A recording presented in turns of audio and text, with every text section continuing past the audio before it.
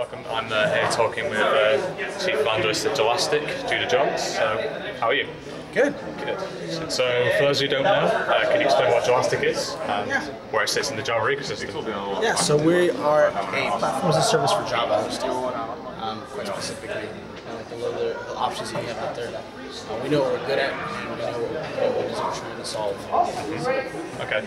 Uh, obviously, there's a lot of talk about PaaS at the moment. It seems to be emerging. Uh, do you think this is the year where people like Java Devs family take up a PaaS solution? Yeah, I mean, you, you heard up until like I think uh, people like Gartner and Forrester were saying it was last year, but I think in fact it's this year. One of the reasons I think that is um, one, you actually have solutions out there that are specifically saying that they are a Java PaaS. We're one of those. Uh, we came out at the end of last year, uh, and then on top of that, I think you know we're seeing the demand now. Um, last year, uh, it was starting to grow, and now you're seeing it actually proof of that. You know, Just the, the, the uptake that we've had, I think, uh, proves that.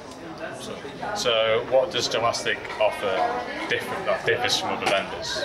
um, there's a number of things that we are quite proud about. Um, one of the main things that that you have with other providers is the fact that you're locked in.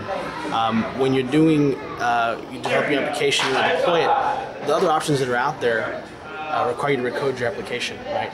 So once you code it for that platform, if you want to move somewhere else, uh, you're either locked in unless you want to recode, which that's very time consuming. So those two things, the no lock in, the no code changes required, those are the things we're very proud about. And the fact that you can get going in minutes versus hours. Okay. So, uh, what future plans have you guys got?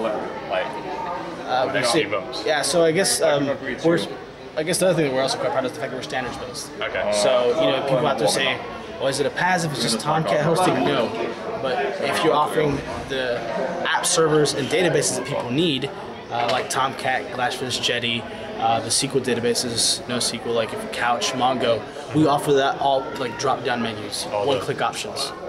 That's pretty good. Okay. I think that covers it all. Thanks for talking to us. Thanks.